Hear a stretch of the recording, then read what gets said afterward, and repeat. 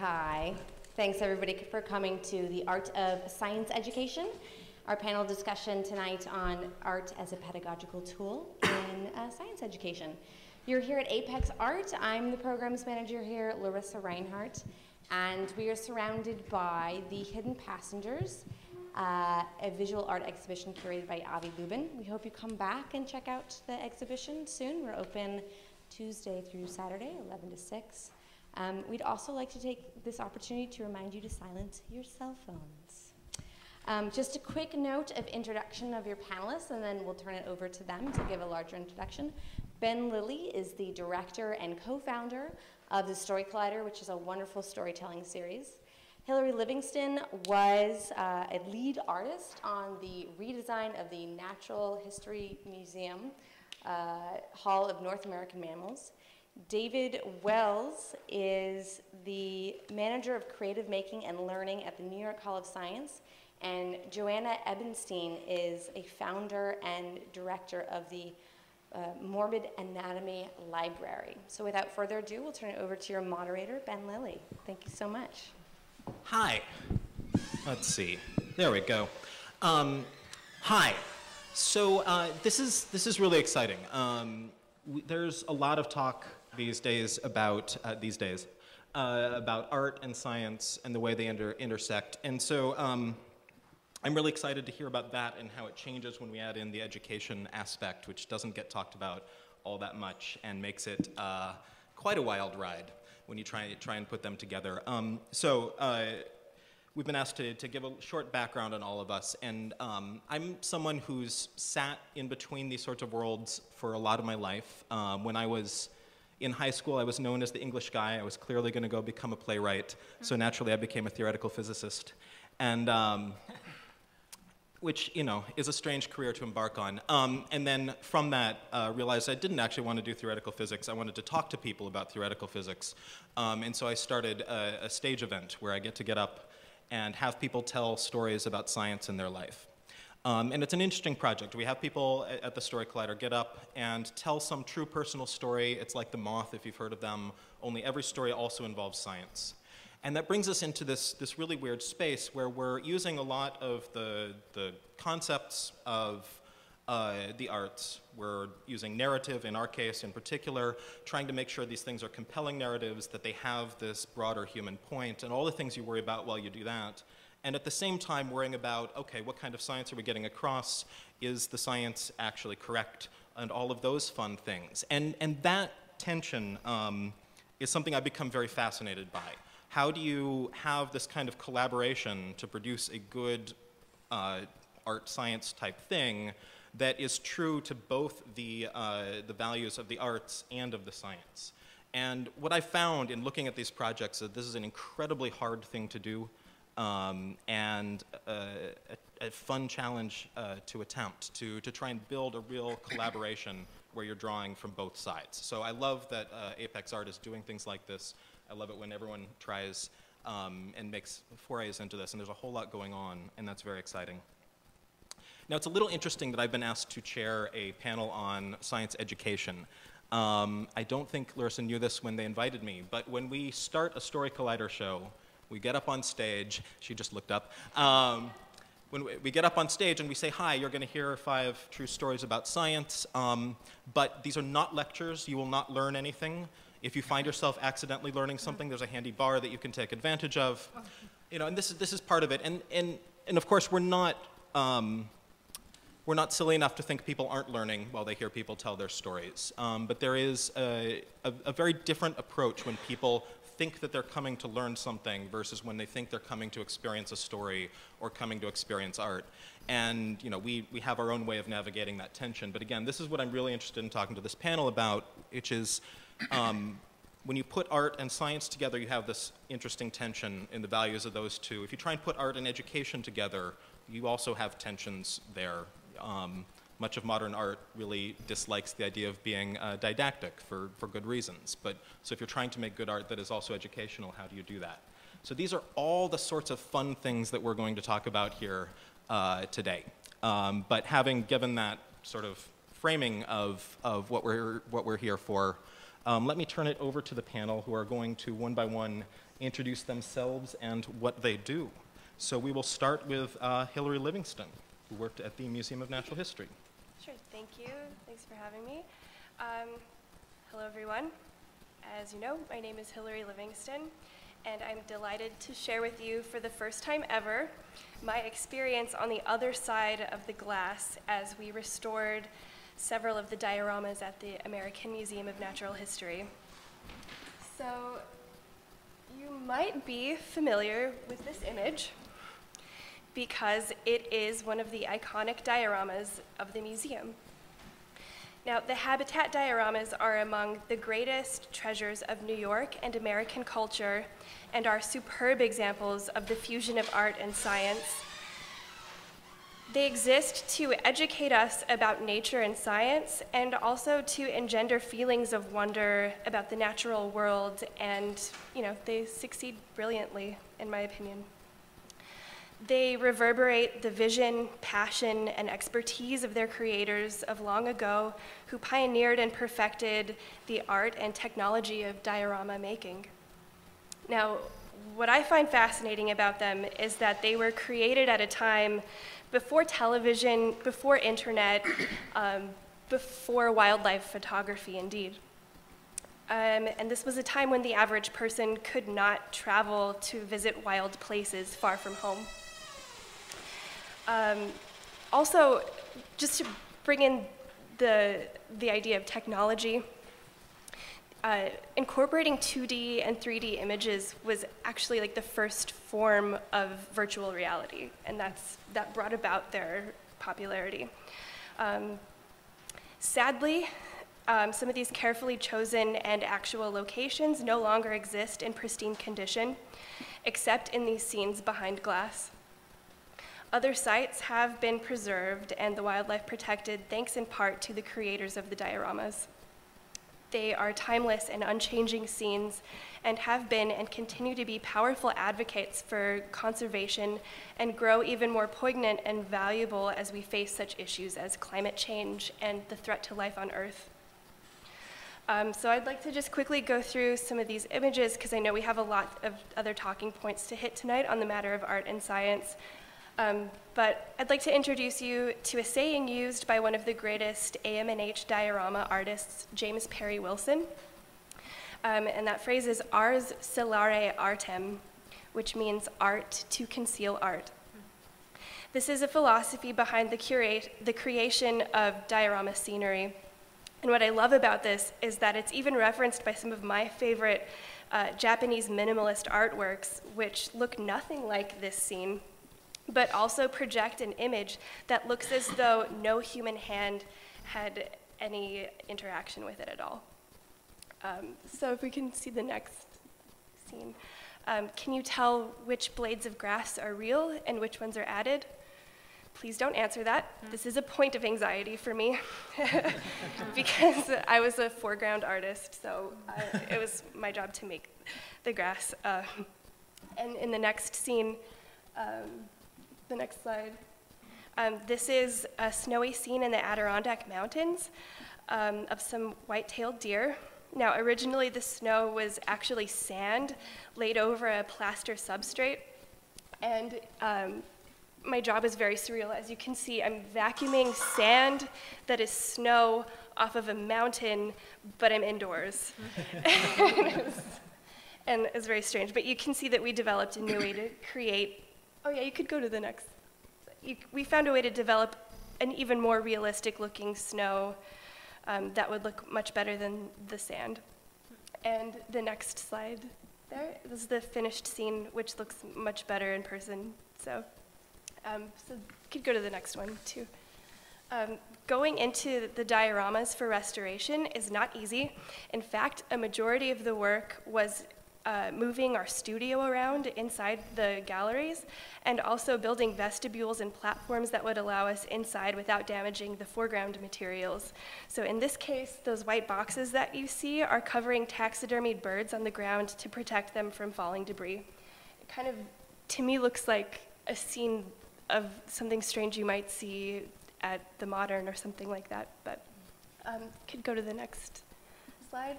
So like I said, my job felt very surreal at times because the UV light bulbs had faded the leaves on this blooming dogwood tree, and my task was to mix a perfect shade of green and wake up the springtime color once again. And also, um, on the next picture, um, I was um, a key developer in a new type of taxidermy bird conservation. Um, so to recolor the feathers was a difficult task because if you use acrylic paint, it would have caused the barbs of the feathers to stick together. And um, there's a rule about taxidermy restoration, which is no water. Uh, you don't want to see what happens. The skin warps, it smells bad, we just won't even go there. Um, so that means that our choices were limited. Um, and so because the air does not move inside of the diorama, um, I found and the conservation department tested and proved that a simple application of dry pigment, like in the uh, photo you see in the upper right hand corner, would just simply sit on the surface of the barb and allow the scarlet tanager its fiery flanks once again.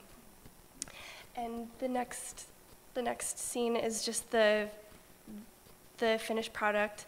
Um, the scene restored from a drab and seasonally confused day to a clear, bright May morning in Oyster Bay, which is actually the place where Theodore Roosevelt is laid to rest. He's our conservation president.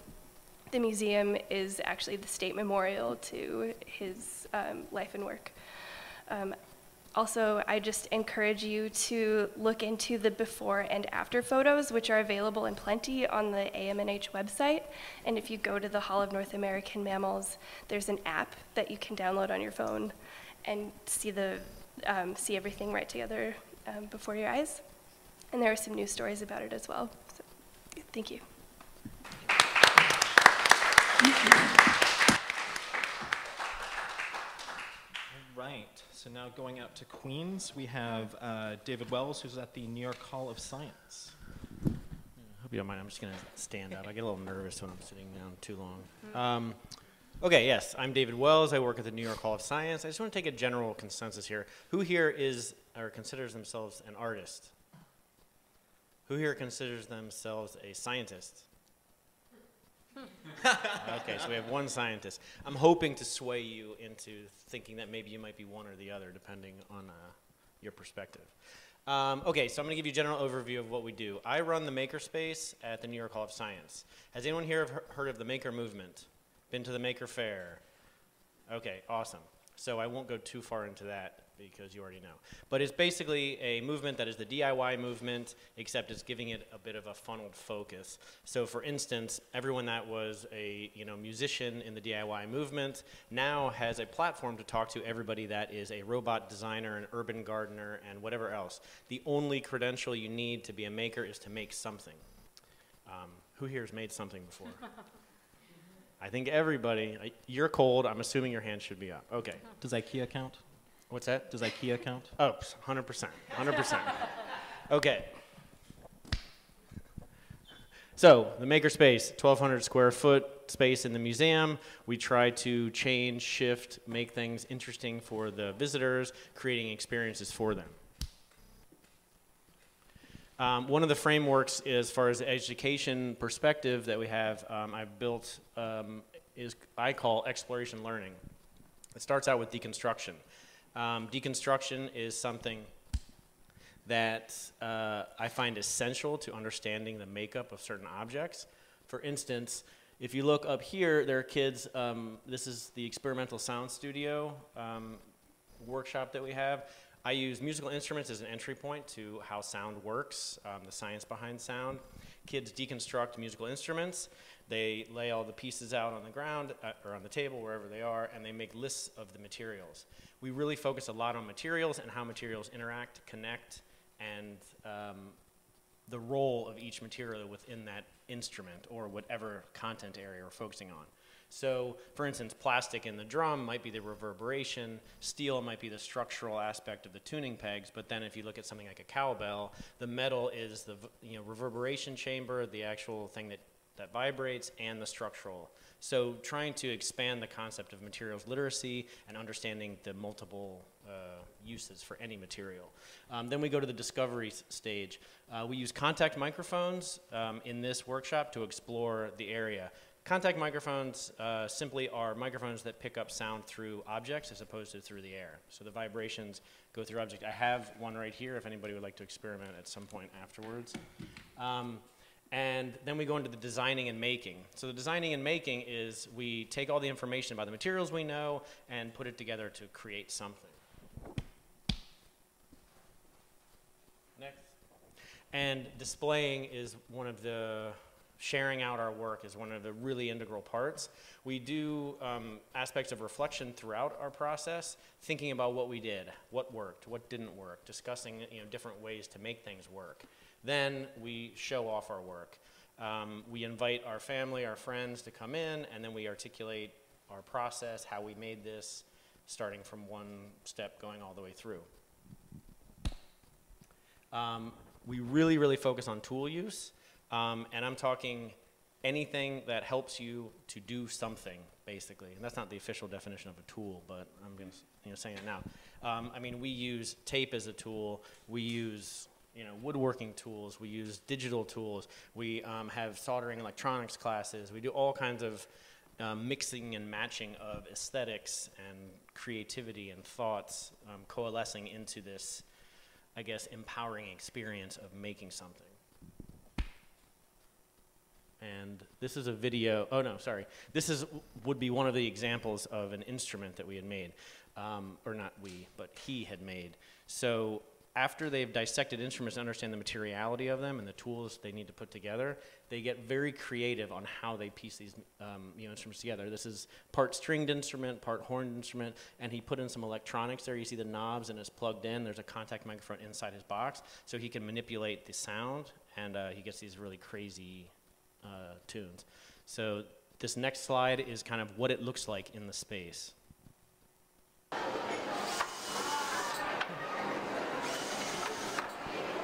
Great. So when you start cutting that, then when you get to this end, you do the same thing. You want it to be a certain and then you it has to be like that. Right, right, right. Your body to rock, and your body to be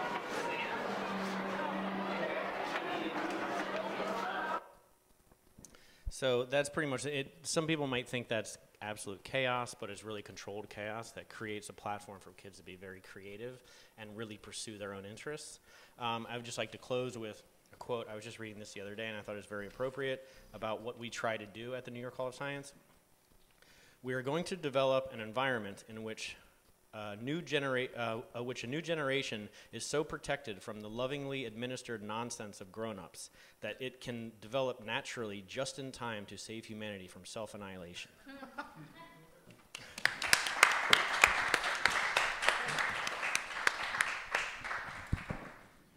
Well, that was a perfect segue, uh, self-destruction, because our next panelist is from the Museum of Morbid Anatomy, which is what the whole world will look like in a few decades.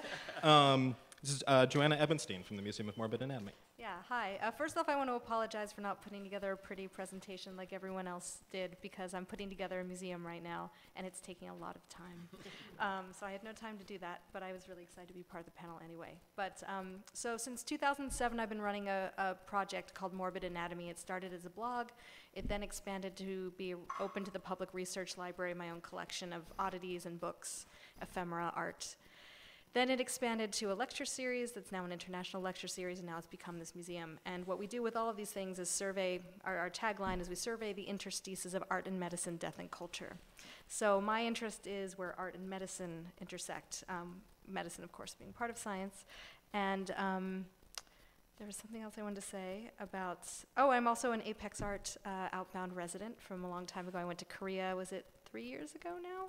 Uh, so this is part of what brought me here. And um, the other thing I want to say is what we try to do through Morbid Anatomy, through the blog, through the lectures, through everything, is create a kind of bridge between academia, academia and the popular audience. So we have lectures about three times a week. We have workshops in things like taxidermy, wet specimen preparation, um, carbon dust medical illustration, all sorts of kind of arcane arts that are usually taught by apprenticeships. We have offered at our at our space, and we have usually standing room only lectures on topics like anatomical waxworks in European collections or the history of Halloween or all sorts of other things. So um, we're kind of trying to create adult, an adult education center that we don't really call that, but it, it kind of acts in that way.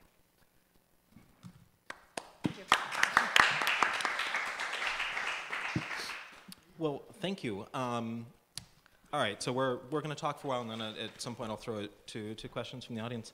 Um, I'm going to pick up on this, this last point that you had here, which is, you know, sort of looking at an adult education lecture series. Um, and I, I guess my question, I'm trying to figure out a way to phrase this that isn't what is education, um, because that's a fun, easy question to answer.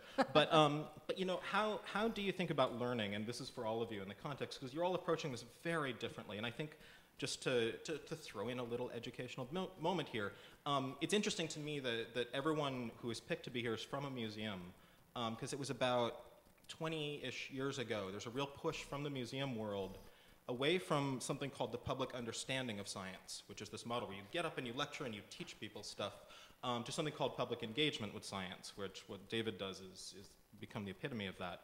Um, and it, it's intriguing to me that, that museums, which were at some level one of the stuffier places, at least in popular culture, have, have become this, this fertile ground for ways of education that are not um, you know, your straight up lecture. So I'm interested in how you all think about what education is in, in the context of the art or, or science that, that you do.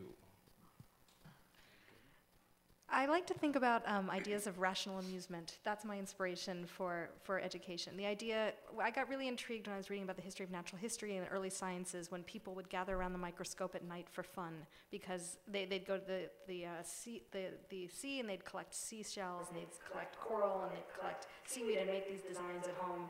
This idea of kind of the parlor natural history really intrigued me. The idea of 18th century notions of learning for the sake of amusement and fun. And that's how I think about education. To me, we started doing a lecture series because to me, my idea of fun is to go out and hear something that's interesting with pictures and then have wine with friends. And it never occurred to me anyone else would be interested in this. But when we started the space, it turned out they were. So to me, that's how I think about education. It's not about professional advancement. It's not about anything outside of the pleasure of having your brain stimulated and getting to learn new things. Yeah, I mean, there's a big push to do a lot of different different lecture type series now. But it, it's interesting that this ties into what David does. And, you know, the most excited I've ever seen any human being in my life is when I got to bring a microscope into a fourth grade classroom, and this one boy wanted to look at his scab under the microscope. Unbelievably excited, right? And so I mean, this is this is part of their thing. Is, is you know, you're not trying to teach kids. You said you're trying to protect kids, basically, from adults. Yeah, yeah. Well, I mean, I see actually just, I just don't know. We do have one uh, program we're going to be doing this week. Uh, no, um, next weekend, where you, you create this, you laser cut a piece that fits onto your phone, and it has a, a lens from a, a, laser pointer. And this, basically, you can, I mean, you go in with your cell phone, you take pictures of really, not quite microscope volume, but maybe six times um, things, so you can really investigate it. But, onto, yeah, onto like education and learning. Um, I find that we're in a really amazing time right now where um, all worlds are colliding and people don't really know how to interpret them. As I was saying, one of you know my uh, you know, crux of my job is to create an environment where kids are free to learn on their own, kind of in their own process from their own interests, um, which is something that I um, I, when I'm learning, that's how I excel. Um, the autonomy that's provided and the trust that I can actually figure out for myself. It might take a little longer, or it might not be right the first time, but or it might not ever be right. But I'll, I'll, I'll keep chugging along, and that's the type of environment we want. The mistakes kids make is um, really at um, the heart of their project, and we don't uh, curb or change the fact that they're going to make mistakes. What we do is it's important to um, how you react to those mistakes and create an environment that's okay to admit your mistakes and then like discuss like, well, how can I make this mistake work? Or how can I, you know, it's about, it's not about right and wrong, it's about what works and what doesn't. Um, and and then being broad enough to think in an expansive way, where I find um, the old way was uh, specialization, and right now we're, we're embarking on comprehensive generalization, basically, learning as much as you can to be able to do as much as you can with your life. And that's about it. Hillary. Oh, sure. Um, I just, tonight I'm representing American Museum of Natural History, so I think it's important to note that um, right before the museum opened, the only, the only place where people could go for something similar to see the cabinets of curiosities, which were these collections of odds and ends from around the world, was actually a P.T. Barnum Museum in 1868, which burned down. And then the next year, AMNH uh, became uh, like the new place where people went for that type of thing, and was then focused on education, where P.T. Barnum obviously was in no way educational. Right. So So, I think there might so be like a burned down or it burned down? I wouldn't know, but but the reason why I bring it up is because I feel like you know when we're talking about you know stories, like the story of humanity, you know we can look back on these on these times like at that at that point and say, okay, well it was time for a change, and you know we we might very well be at a similar yet more advanced point, uh, just like that. But hopefully nothing burns down. No, I mean, it is interesting. I mean, like you say, when, when the museum was first built, it was this huge revolutionary thing, you know, and it's only through familiarity we think of it as this old, stodgy place. Um, but, but, you know, that, again, it, constantly needing to change and update what we do and how we do it. Um, so actually, let me ask you, you were telling me this beforehand. Um, one of the, the interesting things going on in the museum right now is that the, I'm so sorry, I forget the name of the people, the preparators? Preparators. preparators. Um, you know, there's a very specialized artist who, who prepares um, these, of which Hillary is one, prepare these uh, the specimens. And, and what you're telling me is that this is, in a sense, going away because people have access to all of, all of these images in ways that are not through these dioramas. Well, actually, um, I've, I've never prepared a specimen. Taxidermy is something that I don't, I, I'm not particularly interested in it just as an artist. Um, I know that it's something that is not being, like, I can speak to this if you'd like me actually, there's like a women's movement in taxidermy, which is really fascinating. All and of this stuff is a women's movement. but, um, uh, but yeah, in terms of like the traditional art making at the museum, it is something that was like a, it's a tradition that was handed down from one artist to another, and just because of the way that um, technology has rapidly advanced, you know, you don't have to send artists to another country to take molds of leaves anymore because there's a catalog for that. You can just order them. So it is, yeah, it's a tradition that is uh, probably fade, I would say, maybe 20 years Yeah. at that one institution.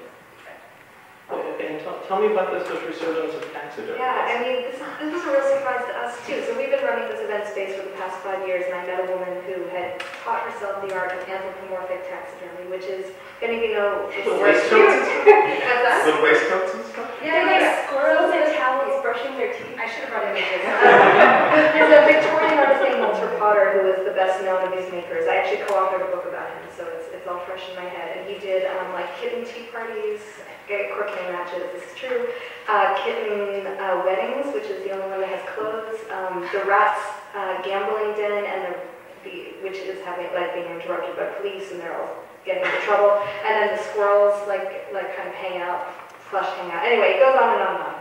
The thing is, they're actually very beautiful and they transcend the kitsch that it sounds like, but I have no images to prove that with.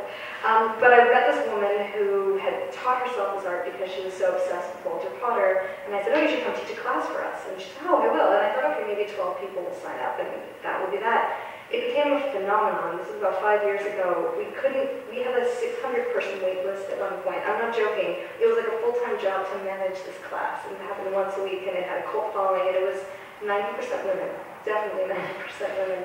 And now, to this day, our, our greatest offering, we have taxidermy classes almost every weekend, and they're sold out every weekend. And part of, some of these people are artists, some of them are curious about, I think, investigating an animal and seeing if they can handle it. Um, All I can tell you is it's alive and well. And probably pretty gross. No, it's actually not. yeah, yeah, yeah. It's not. You don't. I don't know. We can talk about it later. It's, it's very interesting. Where do you get your dead thing? Uh, they're all ethically sourced. Mice, this is true, this is very important. Uh, they're all, actually, the other thing to know about taxidermists, at least in my experience, is they're all animal activists, and most of them are vegetarians. They're people who love animals. Um, they're not hunters, they're, they deal with roadkill a lot. Um, also, feeder mice, which are killed for um, snakes, after a certain point, they just throw those away. So my um, teachers will just go pick, go pick them up when they're ready to be discarded. Well, it's interesting. Just yesterday, someone was showing me this book from uh, about 1980, and it's called uh, Cats, Cats, Cats, Cats, Cats. And it, it's, it's exactly what you expect it to be. It's a book full of cat photos. And it's like someone had printed out the internet in the 1980s and anticipated it. But, but here you talk about Potter, I mean, the point is, is you know, we, we like to think of like cat photos as this weird incarnation of the internet. It's not. This is yet another of a recurring expression. Um, okay, so let, let me ask the, the, the sort of the flip side of the, the first question, which is, all right, so how this, we're here in an art gallery, we're talking about the art of science um, education. To, talk to me about how art fits into um, what you're doing. And I'm, I'm going to ask David in particular, since that's the, the least clear, I guess. Okay. Yeah, I mean, I, uh, And I should say, for, for those who didn't read the bio, you are yourself an artist. yeah, yeah, like, I, I come from an arts background. I uh, spent many years trying to forge my way as an artist to no avail, really, um, or at least no financial avail. Um, and I uh, find that it was really about my process. And when you take down like the creative process, the artistic process, whatever you want to call it, design process, um, I started noticing through my education experience that um, all of a sudden all these processes popped up. The engineering process, the scientific process, the, all these processes. And you look at them, and you know, aside from specific articulation, they're exactly the same thing. You start somewhere, you have some sort of question or challenge, you experiment, um, and then you iterate. Um, and I realized that, okay, being an artist didn't necessarily restrict me to actually the vast you know, nature of being an artist. I could be, I could make anything I want, you know, I could do anything I. So it's like understanding the materials, and it's somewhat arguable that maybe an artist might be a, um, uh, what's called, material science? Yeah, like, you know, material science. When I uh, was more heavily into creating artwork, you know, I, I didn't have money to necessarily buy whatever, you know, whimsical you know, material came to my mind, so I had to figure it out. How is this material going to work for me? How am I going to make this material work for me? Um, or I need to go find a material that can work for me. So um, I think that investigation and that discovery is really the baseline for science, or the impetus behind why people seek out, you know, learning science. And guided by the content, they end up focusing on different areas. But really, you're doing the exact same thing. If you're going through art, you're going through engineering, you're going through, it's, it's, it's about solving a problem, whether that's an internal problem, external problem, societal problem, global problem, outside of the globe, whatever. Yeah, it, it's, it's really the same thing. I think the more people realize that and come together with that idea, that it's, it breaks down the, within education, the barriers of discipline. It's like, I'm not necessarily an engineer, I'm not this, um, I'm a learner, and I like to engage in learning. Yeah, um, yeah, I totally speak to that. I mean, in terms of when art comes into the picture, it's completely at the end. Um, for instance, when when I was working on the grass alone, there was no way. I mean, my boss said to me, "Make grass from nothing. We were not going to order it from a catalog because we were doing the traditional. You know, we get commissioned to do this the way it's always been done. So I had to engineer a machine that would allow me to make blades of grass. There was no, and, and anyone I talked to who'd been there years before me was, they said, I don't know, test some things out.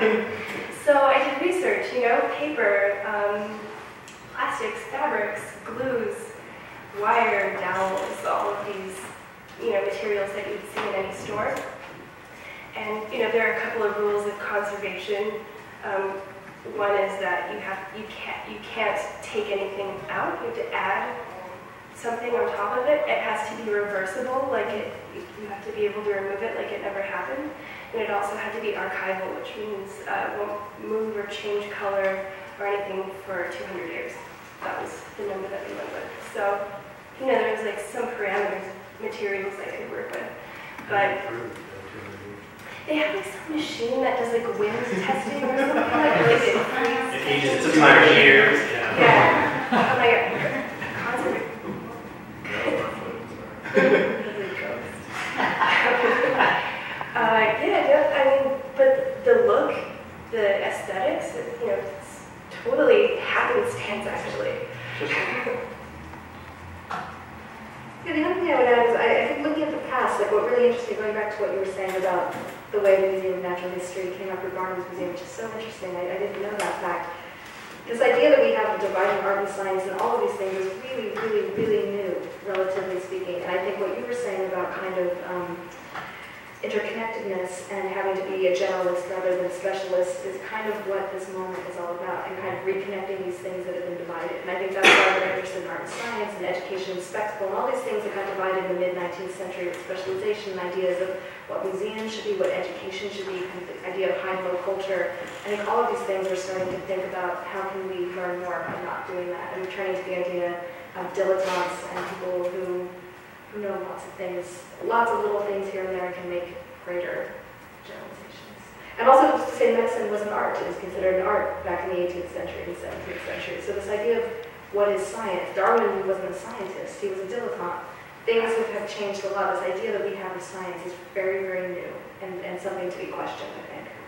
And I think actually just to piggyback on the idea of things you know, changing in perspectives, paradigm shifts, um, it, something that I read recently about the original um, kind of sound recordings. Um, you used to be able to buy um, these wax, wax discs that you would make sound and record on, and you know before they even had you know, 78 players. And everyone in the crowd, anyone could buy this and create their own sounds. What they found, what the industry found was that nobody was buying the, you know, the records of the day because everyone was buying their own material to create their own sounds. And they discontinued that. It's like, well, we don't want people doing what they want. We want them doing what we want, you know? And like that's the, the major paradigm shift in education is that like you need to let the people learn what they want to learn. And that's the really, really important aspect. So now we're getting back to that, and you know, 50 or 80 years later, my, my uh, timeline you know, might not be exact, but whenever that happened, you know, and the way the kind of educational revolution were, were uh, that are, is being thrusted upon us by time and technology is give, let people make their decisions, and if you're not going to let someone make a decision, then you're probably going to miss out on something really powerful. Interesting. Okay, so here's something that, that strikes me. So I, you know, I came of age, as it were, in at the height of the science wars between the left and the scientists, where there's this huge tension between the humanities and the sciences, and it's become a thing to talk about C.P. Snow and the two cultures, and how the, the culture of the humanities is wildly different from the culture of the, the sciences. And what I'm hearing from all of you is that in, in your own spheres, that's not really an issue. So I, am curious, a, sort of two-part question, answer whichever you like. Um, you know, what, what challenges are there still? Like, is there still some element of trying to, to bridge those? And, you know, again, I'm hearing that from all of you, this isn't so much of an issue. Do you think you're anomalies? Or is this, you know, is this very common now, or are, and we're seeing a huge change, or are you, you know, a few people who happen to have gotten lucky for, for having to do it? Um, I mean, I would say, uh, kind of, you know, referencing the quote I said, it's like, um, you know, the nonsense of grown-ups or, you know, like protecting people from that, you know, it's like, I'm a grown-up, I think, or at least by age I am, so it's like this idea of, yes, I have, you know, been constructed in this way, but trying to find, uh, like, alternate paths, I think, is really this, uh, like, the strengths that are happening, and it's really, really important to pay attention to that. And yes, um, I provide an entry point. Like, definitely, like, if there's a scientist that is, you know, know specified in you know, biological um, something, something. I'm not a scientist. um, you know, yes, you need certain you know parameters around that, but just to um, experience your potential and what possibilities there are, which is really what science is about. um, and what is art, you know, what art is about. It might be, you know, art might be a little more internal sometimes, arguably not, but then science is more external. So thinking about the processes and how they, you know, basically intersect is, is really, it's, it's a revolution that we're in right now. I think it's important to take hold of. Somebody else. I would say I think we're part of a zeitgeist. You know, I think there's a reason that we're here talking about this tonight because it's not just us who are thinking about these things and caring about these things. I don't think it's necessarily trickled down to mainstream society completely yet, but I do think, you know, we're dealing with really big problems now that specialization isn't really going to help. Global warming is all about how things are interconnected. Like, there's no way we can solve. Like, I, I feel like these ideas we've had about well, we'll just focus on this, we'll learn everything about this, and learn everything about this. Are, it, it's great to know that, but it's we have very big problems that are really about how things relate to one another, which is an entirely different way of thinking about things. That's how we used to think about things until the 18, 1850 probably. So I think, I think things are going to have to go in this direction. I think there still are challenges, but to surmount the challenges we have, we have to go back in that direction, and that's why people are driven that way. That's my feeling. Okay, so I, I'm gonna keep. Okay, I'm finding myself in a weird position. Usually, when I'm on panels and at conferences, I am the weird arts guy among a bunch of scientists. And now I'm finding that I'm I'm the scientist in a room full of artists. So let's go with that. Um, but just just to really push on this, um, what would you do? You know, one one of the things that scientists care deeply about, and one of the, the things that I hear complained about in, in the arts, is the notion of accuracy and and if you will. So, you know, what do you do if you have a kid come in, um, you, you, know, you're focused on there not being wrongness. What do you do if you have a kid come in and he wants to do a project about how creationism is right, or how the Earth isn't, climate change isn't happening? I don't know if that would actually happen in your environment, but, you know, what, what do you doing in something like that? Yeah, I mean, it, that has never happened in, Yeah. in, in my environment, but um, my general approach to any sort of project or anything that kids are working on is, again, I want to come from what their interests are, and nine times out of ten, it's not about me, well, actually, ten times out of ten, it's not about me telling them any answers to questions. I always say I'm not in the business of answering questions, I'm in the business of actually creating them. So, like, um, when they come with those kind of questions, I offer them a conversation. I, you know, think, well, what exactly do you want to achieve by this? How would you achieve that? And by letting them think about it and giving them the platform to think about that is something that they don't really get. I, I mean, I don't ever remember getting as a child. It was more, go here, do this, um, go to bed, and that's pretty much it. You know, or eat that, and then go to bed. My parents did feed me. But like, you know, it's just, you, you never get that, that, that feeling of empowerment as a child. So if somebody were to ask me that, even though I would say I'm not necessarily a believer in, you know, like creationism, obviously, but I would let them explore that on their own. I wouldn't give them an answer to that, which even though I do know the answer. it's more about letting them discover it. And when they make that mistake or when they have that problem, they'll realize one way or another. And it's like, really, is it working? Why isn't it working? Figure it out. I don't know if that answers your question. Your, your previous question kind of inspired me a little bit, just thinking about the idea of convergence. Younger generations of people are really just completely immersed in technology. And in terms of like scientific accuracy, you know, maybe it's true that a lot of people take that for granted, like how many calculations a phone has to make, um, just to make your life very easy. Um, but uh, I feel like um, the idea that something needs is like either correct or not correct is such a cold and like way to veil the entire idea of science. Just I mean, just too generalized, you know, that really pushes people away from uh, being curious about it. I mean, I think everyone knows who Albert Einstein is, but maybe not everyone knows about his thought experiments, which are completely accessible. And you know, he there's tons of like Bartlett's quotes about you know imagination, and you know there are so many um, so many inventions that have made our lives so convenient and wonderful that came about through science fiction and, you know, through people imagining how our life could be better, even though, you know, the how wasn't necessarily there. And then that's where science comes in, where there's a practice to it. Well, does it work or does it not work? And that's where correctness comes in. If your invention works, then it's correct. If it doesn't work, then, you know, I guess keep trying. But uh, yeah, I feel like those people from back in the old days just maybe had some other motive for, you know, this, this happens in academia too, where there's like this jargon that just blocks people from understanding it, and it's totally unnecessary, in my opinion. And, and, actually, just on the you know concept of working and not working, which is really something that we try to emphasize um, in our space.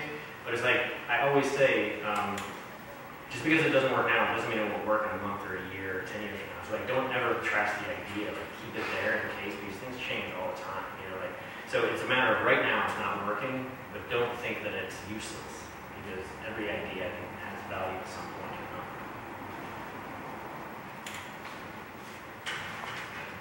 Okay. So, um, I, again, I'm in a weird position here where I feel like I'm, I want to be devil's advocate. I agree with, with all of you. But I, just want to push on this. So, so one thing that, um, you know, if you, if you walk into the sciences, you say, why, why is this successful? You know, part of it is curiosity, and, and every scientist will tell you curiosity is huge. This is a huge part of it.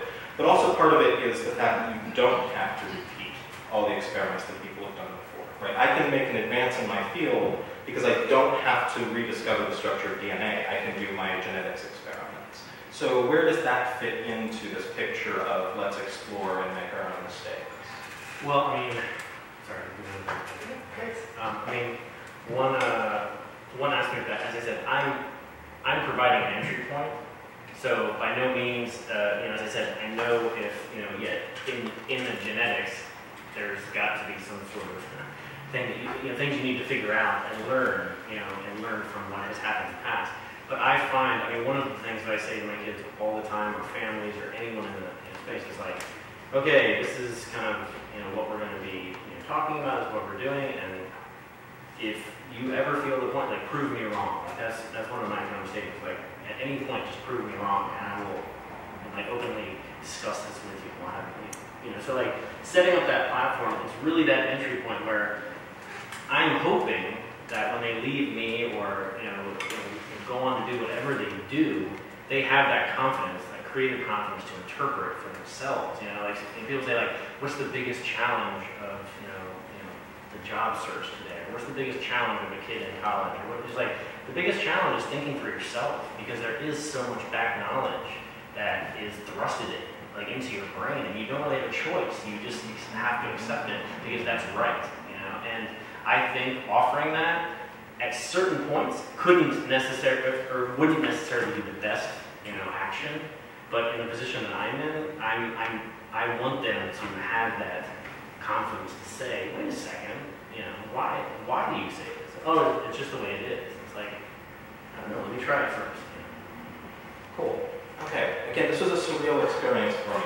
Thank you. Um, I'm never in the position of being the scientist and I'm off next week to go teach a bunch of scientists how to communicate. So thank you for giving me all of you um, good um, ammunition. I'm going to throw it open to questions from the audience here. Um, yeah. So um, another thing that you said, I'm, I'm an educator, amateur scientist, experimenter, um, and I hear a lot. I'm a participant in the maker movement as well. Um, but one of the things I'm hearing is kind of this concept of the everyday scientist and the idea that everybody can engage with the everyday scientist, being an everyday scientist. One of the things that I fear, though, when hearing that, is that the way to make everyday science accessible is to make us fear math. So I'm curious about how do you push the rigor and the kind of the next degree of like the inquiry pushing towards scientific inquiry that's quantitative and also, or do you, right? Is, is, is, or is it a problem, really, that it isn't there? I would, even though I don't, I don't work with this kind of thing directly, I would say that to me, if you're curious enough about something, you start that surmounting the obstacles of learning things like math doesn't seem like such a big deal. Like when I started, I got into all this stuff with the history of medicine because I loved anatomical models. And I didn't think I'd ever start trying to be French or learn about it. It's, I became so obsessed that I want to know more and more, and I start to go down the rabbit hole. Before you know it, you're doing all these things. You're taking classes, you're traveling around, you're learning languages, so you can do this stuff. So I think for me, at least, it, it's the curiosity and the love of the thing that gives me the strength to surmount things like learning math. That would be my answer. I actually, there's a, there's a really uh, fun example of this, is there's a, um, there's a citizen science project called Galaxy Zoo, where people are supposed to, um, it's one of these ones where, where you're supposed to donate your time to help science, and they show you pictures of galaxies, and you're supposed to classify, is this uh, ellipsoid, spiral, irregular? Okay, it turns out humans are still way better at that than computers. So, so they have people donate their time to do this. And there's some message boards that people can talk to each other. And what happened is at one point, somebody noticed a bunch of galaxies that were sort of smaller, spherical, and kind of green, and didn't look like anything that they were being told to look for. And they started posting on the boards. And at first it was this series of jokes, like, look at the green peas, and then a bunch of things like, give peas a chance, and, and all the, the things like that. And, um, but as they kept going, they kept wondering what this thing was. And the, these, these citizen scientists who had no backgrounds in physics started learning about spectroscopy. They started teaching themselves about spectroscopy. And the end result of this was a publication in a scientific paper using full-blown spectrographic techniques, identifying what these objects were. And I wish I remembered, but I don't know. But they, they basically taught themselves all the spectroscopy they needed up to the level of the professionals and then published as papers. And you know, I, to me, that's one of the great success stories of this. Uh, you provide an entry point, and not everyone, but some people are going to go down, down that road. Yeah. And I think, I mean, one of the you know really important things, like say for instance with math, like it's really really important for application. Like if if you don't not necessarily knowing math, I mean obviously, but like if you try to impart knowledge or an experience, develop anything for anyone in a learning process, and they have no attachment to it in their life or what they're doing, it, it's going to fall to the wayside. It's like learning a language but never in the country. You know, like you are never going to use it, so like why would you ever know that? But when you're put in a position um, to figure out what these possibilities available to you are, and you need to figure out this mathematics or this sort of you know, structural integrity that's going to make this thing work, you figure it out, and that's really at the you know at the root of what you know we do here is like that kind of like I like we want to teach that I can mentality, like I can do this, you know, I, I like it's fine, and then you're not completely you know crippled by it not working, and realizing like hmm okay, now what's the you know, kind of inquiry-based you know, process, reflection, whatever you want to call it? How do I get over this hump? Or maybe you know, do I redirect? You know, so it's like being able to handle that is, I think, really, really the strength of what at least I want to do in my space um, in general. Oh, and actually, sorry, can I say one more thing then? Um, that's one um, struggle we have a lot in our space with using a lot of technology. Um, sorry, using a lot of digital technology, computer technology, is that we have a, you know, what is called an underserved population around our museum. And a lot of the kids in my programs are from that community. And it's like, okay, do this, you know, 3D design here, and we're going to print it out with a you know, 3D printer. Yeah, this is fun, right? And then they go home, and it's like, they don't have a 3D printer at home, they don't have a computer at home, they have no access to this. So like, what am I really, in, you know, I'm going to incorporate? Like, see how the other half lives? Isn't this awesome? You know, I mean, so it's, it's, it's a real struggle. It's like, how can I empower them to like take this home? You know, so as part of our weekend program workshops, we have, you know, Make It a Home Challenge.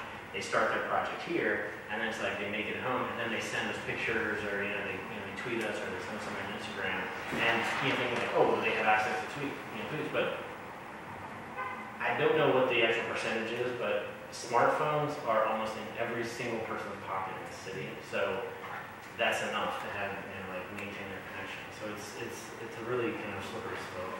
Just like a one sentence thing. I wish somebody had told me in school that algebra is how to build a website. Yeah. Um, Yeah, I that was, I thought it was interesting too how you're all like in different museums, um, especially, um, your new museum that you're building, and, uh, I guess that's my, my question is how, how are you going about building this new museum? Like, what kind of models are you looking to, then in particular, what I'm interested in is, um, how do you incorporate art into that? Is that something that you're doing? actually, sorry, just to piggyback on that, how many museums like yours are there? Yeah, so, um, yeah, so for many part question, um, I can handle this. The Morgan Museum is, um, it's not going to show contemporary art, I should say that right off the bat. It's going to show um, material culture from private collections and ultimately from museum backstages. I want to show things that no one else is showing or talking about in a serious way. That's, that's our mission, kind of. So the kind of things no one takes seriously or that, that falls between the cracks is what we're saying. Falls between the cracks of the disciplines, art and science, for example, high and low culture, um, things that are, you know, much of what my investigation has been about in the past seven or eight years